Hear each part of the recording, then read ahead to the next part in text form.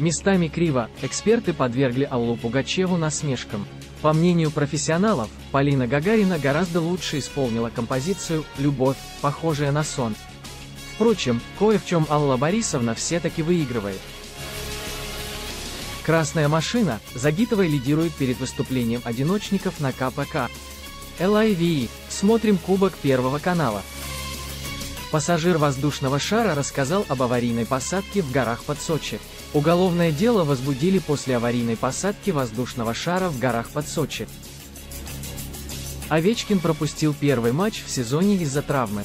Александр Овечкин за карьеру в НХЛ из-за травм пропустил только 28 матчей. Вашингтон, без своего капитана, проиграл Вегасу со счетом 2-6.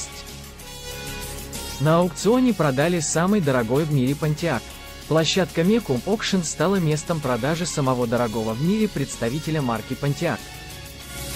Ваш стрём с вами останется, блиставшая на Венском балу Анна Нетребко нахамила россиянам, взбесили комментаторы.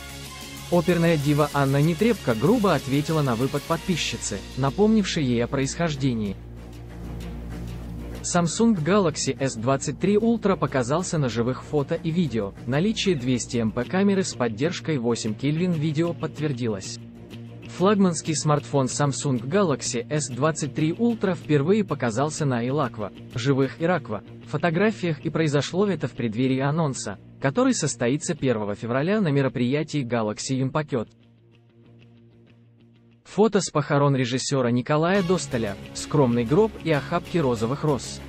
Николай Досталь скончался 18 января. Режиссеру было 76 лет.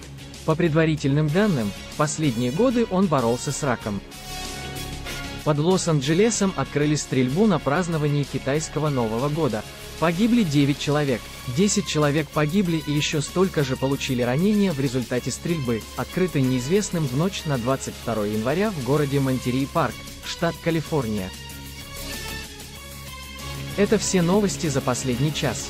Подписывайтесь, чтобы быть в курсе последних новостей. До встречи!